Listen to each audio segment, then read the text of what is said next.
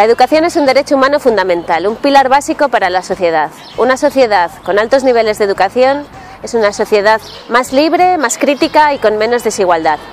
En Izquierda Unida abogamos por una política europea que garantice educación pública, gratuita, inclusiva, democrática y participativa en todos los niveles, desde la primera infancia hasta la universidad.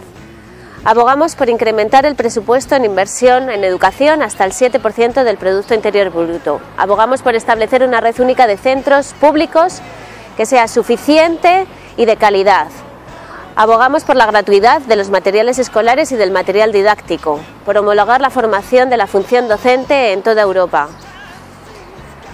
Igualmente, la universidad ha de ser una universidad pública y hay que revertir el proceso privatizador que en todos los países en Europa se está llevando a cabo.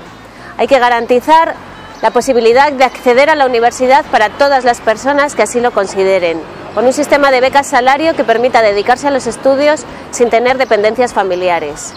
La universidad ha de dedicarse a formar y a investigar también para resolver los principales problemas de la humanidad.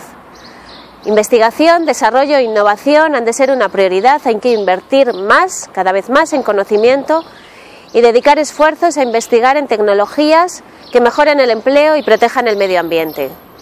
El 25 de mayo, en las elecciones europeas, el poder de la gente.